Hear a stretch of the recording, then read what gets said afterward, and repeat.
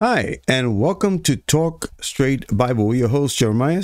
and Rafina Antonetti Folks, why are we here this morning? to talk straight about the Bible. Yeah, nothing better than the Word of God. Amen. Amen. We've been looking at Proverbs chapter 7, and we are enriched by the Word of God because it keeps pouring out. Mm-hmm, you know, mm-hmm, that's mm-hmm.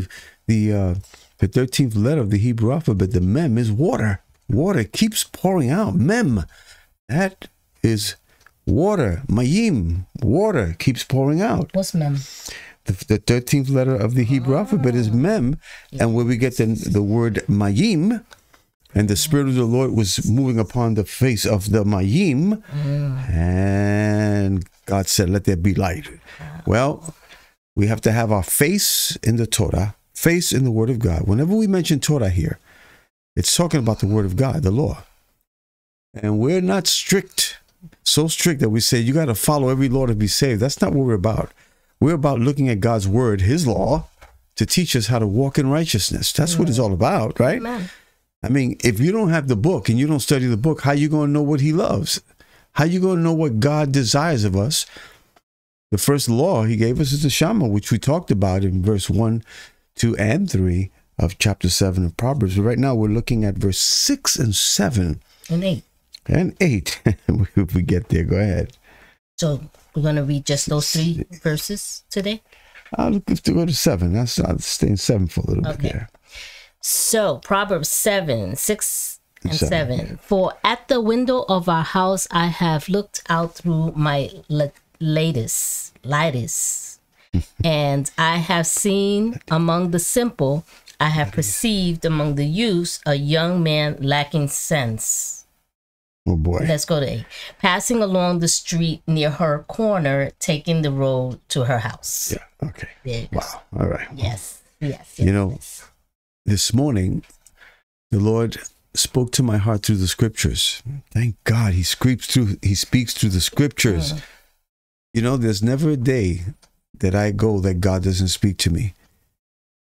There's never a day that God goes by that he doesn't speak to you. The only problem is that we need to be in a right position to hear. Mhm. You know that? That's right. I told the story a while back about being in my office one time. I'm just playing my guitar, hanging out with Rafina, and, and you know, I uh, put the guitar down on the stand. It was next to me, and all of a sudden the phone rang, and one of the strings on my guitar began to vibrate. Mm. And man, did I get some spiritual appellations about that. You know what? It was vibrating because the guitar was pointed in the exact position where the phone was. And because the ringing of the phone had a tone in it, it began to vibrate Mm. one of the strings. And I was blessed. And I said, God, please let me be in right position with you where I can always vibrate when you speak your word. Wow, wow, wow. Oh man, speak your word. I see I, in my morning prayers. One of my things is I say, God, please open up my mind so that I can understand the scriptures, so that my heart can glow for you today. That Mm. I, I want my heart to glow for you today. And how do I do that except by the word of God? The word of God. Let it vibrate inside of you. Mm, it will do something to you. And so I was I was just looking, the Lord spoke to my heart and he told me why our cities are in trouble. How about that one? How but wouldn't you like to know why our cities are in trouble? Well, let me read why and then you tell me. I'm looking at because remember we're talking about the youth. The simple ones. Why are they simple? Because the front part of their brain doesn't develop. It's not developed yet. yeah, they say that, that the youth, their, their brain, the front part of their brain, the lobe doesn't develop to about 20 or something like that. But it's not all the youths. Yeah, they keep There's flip, some, there's some youth that have sense. yeah, they keep they still keep flipping backwards. okay. So look at look at Psalms 127 verse 1. This is what the Lord spoke to my heart this morning concerning this what we're talking about. A song of decree for Solomon. I, I looked at that and said, hey, isn't that something? We're studying on Solomon. This is a song of decree for Solomon. It says, Except the Lord build a house, they that labor in vain.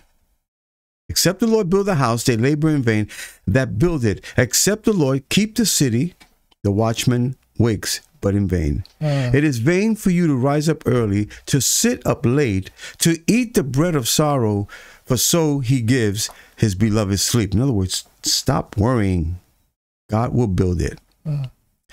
Lo, or behold, children are an heritage of the Lord, and the fruit of the womb is his reward. Now watch this. As an arrow, as arrows are in the hand of a mighty man, so are children of the youth. Here it is.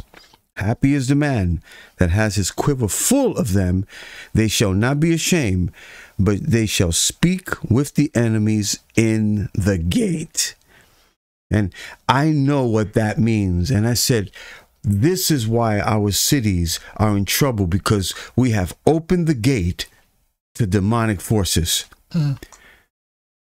in our government, in our families, in our relationships. I mean, you name it. We have all kinds of stuff happening now mm-hmm. that are entering, listen, that are entering in all these demonic forces and they're beginning to write their laws upon the hearts of people who are not listening to God. Why? Because we're not building the kingdom of God. We're not building what God wants us to do. Now, watch this. Why are our cities being destroyed? Of course, because just mentioned, because we failed to keep the gate closed. Uh, uh. It says, answer the enemy at the gate. God has given us his word so that we can speak to the enemy at the gate. The elders of the city were to sit at the gates of the city and examine everything coming into the city. And they had the wisdom, they had to have the wisdom of the Lord and the strength of men. Watch this, that was dedicated to the cause of righteousness. Mm-hmm. And what has happened is that the church has not lifted up her voice, has not stood at the at, at the gate or sitting at the gate and speaking to the enemy. Mm-hmm. Well, who is the enemy? See, people will try to even tell you you can't use the word enemy today or fight because it's what? I don't care what people say. The Bible says we're in a battle. Mm-hmm. It says put on the full armor of God. That's right. The word put on, put that Paul spoke about. Let me give you a quick picture of that because it is what it means. It means to sink into your armor. Mm-hmm. Sink into your armor. The way you sink into your pants, the way you sink into your shirt, you put on your shirt, the way you sink into your shoes, sink into the armor of God. Why? Because this simple one, this person, simple, behold, among the simple ones, and let's look at the word simple ones there. I'm sure you're going to talk on that, aren't you? No. I'm going to talk about something. I don't know if I was going to talk about that in particular. And what's interesting is that it's a picture of an open mouth or a hole. Watch this. By hanging the standard. Combine these things together. It means a hole or a pole, a hole made of insertion, of something. It's the a hole made for an insertion, uh, like a, you know, to put something in it. It's the act of intercourse. Now look what the look what the spirit of the prostitute wants to do. The deception is about drilling something into your mind to put something there. Why don't you come and lay down with me? I made my bed. I got food, uh-huh. got spices. See, whenever you listen to the enemy, it's like the enemy taking a, a drill and begin to cultivate your mind. Mm. A while back, a long time ago, I remember when I was first starting in this Christian thing and I began to study, I remember I was studying on the locust, and I have taught about this. I'm sure somewhere in Talk Straight Bible, we have over 1,200 videos. Thank you, Jesus. Mm-hmm. And I remember studying on the locust. And what's interesting is that I found that the locusts, they dig a hole and then they stick their ovipository into that hole, you know, that thing behind them. And they lay about 30 to 60 eggs in the ground, then they cover it, and you don't even know it's there until they give birth or they become live, right? They're born, and all of these little locusts come out of that hole. Mm, mm-hmm, mm-hmm. And I remember the Lord dealing with me because I was going through a lot of mental stuff, man. I came out of a lot of stuff. I came out of drugs. I came out of a world full of sin. And there were so many things that God had to sanctify me from. And He gave me time. I was closed up for God for about three years, just studying the Word of God and looking for God. And I remember in the scriptures that the enemy has stuck his ovipository in my mind hmm. and in the minds of people, and he lays eggs there, and you don't even know they're there. You don't even know they're there until they start popping up all over the place. So, what is the simple? You want to be simple? Let me tell you another way that you can be simple. If you want to be simple, say, well, you know what? I'm, I'm not really into all this stuff. Let me tell you how to be simple. I'm going to take you to a verse of scripture that simplicity is still has to be filled with the wisdom of God if you want to beat the enemy. Mm-hmm. Now, if you say, well, I, I'm not into all this, all this deep stuff. Okay, fine. But let me tell you what simplicity is in the word of God. Look what it says. The law of the Lord is perfect, converting the soul. The testimony of the Lord is wise, making, oh, excuse me, this, let me go back. Sorry. The law of the Lord is perfect, converting the soul. The testimony of the Lord is sure, making wise the simple. So if you say, I'm I'm I'm, I'm comforted, you know, with all, with all the simple things of the Word of God, well, fine, but make sure that that your simplicity is filled with the wisdom of God, and not be filled with stupidity, uh. Because that's what it's all about here. That's right. That's right. You know, you mentioned something about the church fighting. So how how does the church fight? Does it fight by going out and always doing protests and things like that, which is okay. It's okay. You know, if you have the time to do that. But the thing is is that in the church, we need to be taught we need to be taught how to fight how to fight this enemy. And that's only going to come through the word of God, having wisdom through his word that we may go and teach others so that we walk in the ways of God. And that's how we fight. That's right. That's how we fight. That's how we fight our battle. That's how we fight our battle. So the father here begins the story by saying he was at home and was looking outside through a barred window. Then he describes what he saw, and of course, I have something on simple. Um, then he then he saw a group of naive people, a group of innocent, inexperienced young people who were strolling along the road. And among those young ones, his attention was drawn to a young man lacking sense, which, of course, Jeremiah just mentioned that word simple. Lacking sense, which literally means a young man without a heart or a young man lacks common sense, like a nitwit, right? Foolish nitwit, yeah. So we see that even i- we're reading these scriptures, and this happened so long, long, long ago, right? So, but today we see almost the same kind of pattern with young people. And, and Ecclesiastics 1 9, it says, That which has been is that which will be again. So we're seeing that same pattern just rotating, just coming back around. And that which has been done is that which will be done again. So there is nothing new under the sun. And he continues to say in Ecclesiastes 1:10, Is there anything of which it can be said? Um, see this, it is new. Hmm, hmm, hmm, it has already existed to ages which were before us. So we see the same things happening. History tells us in 18 in the 1880s there was an onslaught of prostitution and police corruption. In 19 um 1930, in 1970, in 1980, It's the oldest. we, it's the teenage oldest. hookers Yeah, it's the oldest occupation in the world. That's right. Li- live sex, porn pa- um, palaces, triple X rated movies clogged. Don't even Times Square, remember? Yeah, it's not even triple X anymore. It's XXX all the way to XXXX. XXX. XXX. Remember when when when all of that stuff was going on in Times Square? Um, I was hanging out in Times it Square. wasn't it was safe crazy. to walk Times Square. Now they've beautified it, But don't think that it's gone. That's right. There's a lot of witchcraft Okay, there. A lot it's of just witchcraft. more sophisticated. That's right. Future generations make the same mistake that previous generations have made. That's right. And that is that they learn nothing from history. I like what Chris says. Speak the word. He's right here, right here this morning. Speak the word. Earl Lindsay says, I like this. He says, stop letting them in the gate. Leave all that nonsense outside the gate. Come on. We need that. So so so we don't remember anything, no lessons from what history teaches us.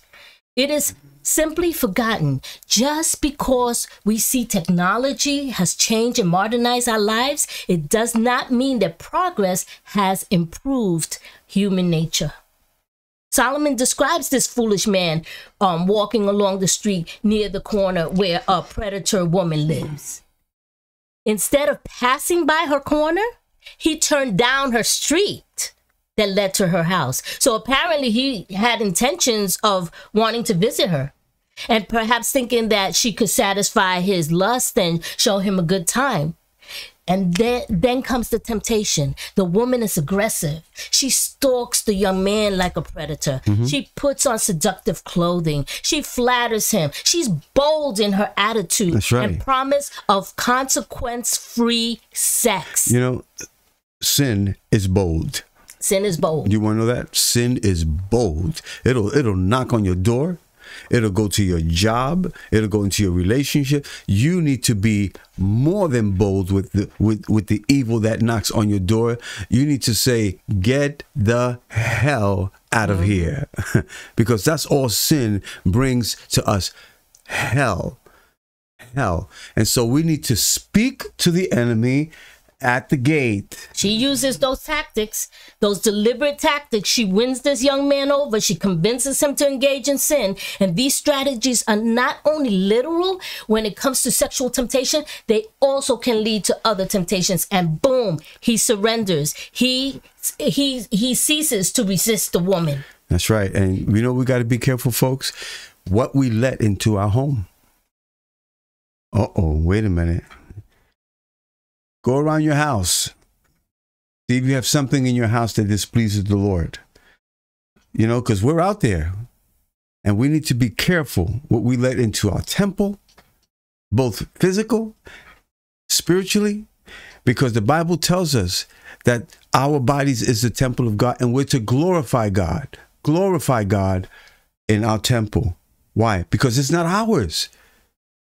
This this temple does not belong to us. It belongs to God. And we need to be careful the places that we walk. You know why? Because he says, I discerned a simple a simple one. Mhm. And it's interesting that within this word discern, this is actually a preposition and when you when you're looking at, you know, in the English.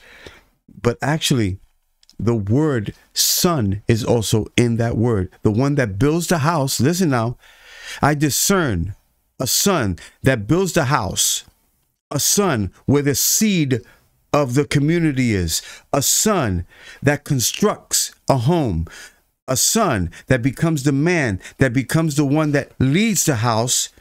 I discern that he's simple and he doesn't know what he's doing. In other words, he is destroying his future generations mm-hmm. by giving himself to strange things. As a matter of fact, there's a I, I can't even watch it, but uh, you know, you go through Netflix and all, and all these things. They have a, a series called Strange Things. Yeah. Oh, it's it's evil. It's evil. It's evil. And they got kids playing it. Oh man, this is crazy. We're teaching our children witchcraft, Mm-hmm, incantations. all right, the the stuff that they're watching. You know, oh, there's a lot of magic. I mean, there's so much stuff that we're teaching our children. They're they're, they're learning how to become witches. Wow. They're learning how to put spells on people. This is mad. You know, when we're warned about dangers through the word of God, it helps us to recognize and avoid them. That's right. Um, he saw this young man as being foolish, and he did the opposite of what Solomon had counseled, even in Proverbs 5. He said, Keep your way far from her and do not go near the door of her house. First Corinthians, I mean, First uh, Thessalonians five twenty two admonishes believers to abstain from every form of evil. You know, I was thinking about that, and we may, you know, we may look at this and say to ourselves, I'm not going to fall for that, right? Because it's prostitution. She describes herself as a tempter that's right in your face. So, of course, we can say, nah, no, thank you. But what if it's subtle? What if the temptation is not so in your face? What if you're broke and you use your last $10 to buy something and the cashier gives you more change than she or he should? Are you tempted to keep it and say, Oh, thank you, Jesus? Give it back. My experience, I had an experience with a payphone early in our marriage. And back then, that's I'm not I'm not trying to date how old I am here, but we didn't have cell phones when we first got married. And I had to call Jeremiah through a, from a payphone in the in the train station. And when when the money when um then when I put the money in, more money came out. And so I was telling him about it on the phone, and he says, Rafina, that's not your money. And I said, no, no, no. This is mine. Uh, this is mine. So he says, "That's not your money." You the, hungry too. The, the phone is no good.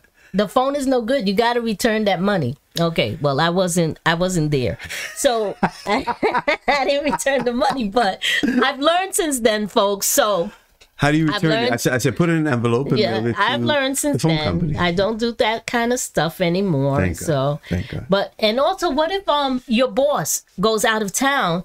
Do you still come in on time and stay until your official time is off, or do you take longer lunch hours and figure the cat's away? These are temptations that can present themselves in our lives that are not pleasing to God, that show who we are as Christians and allow others to see where our Wow. integrity is. Wow. We're, we're going to continue this because it is delicious. And until we meet again, Shalom. shalom.